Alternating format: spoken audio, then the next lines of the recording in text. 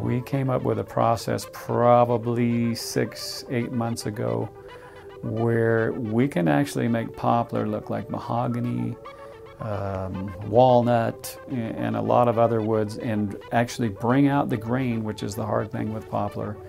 And uh, the funny thing is, a lot of these wood vendors will come in and I'll hold up the piece. They'll say, "What kind of wood is this?" And it's well, it's cherry, it's uh, maple, it's it's walnut. And uh, when I tell them it's poplar, they can hardly believe it. So it's a high-end finish. Uh, we like doing it because it increases the quality of our product. I take a lot of pride in, in, in my work and what I do because I know people, they, they buy this product, they put it in their house, and so I, I want to make it look the best I can.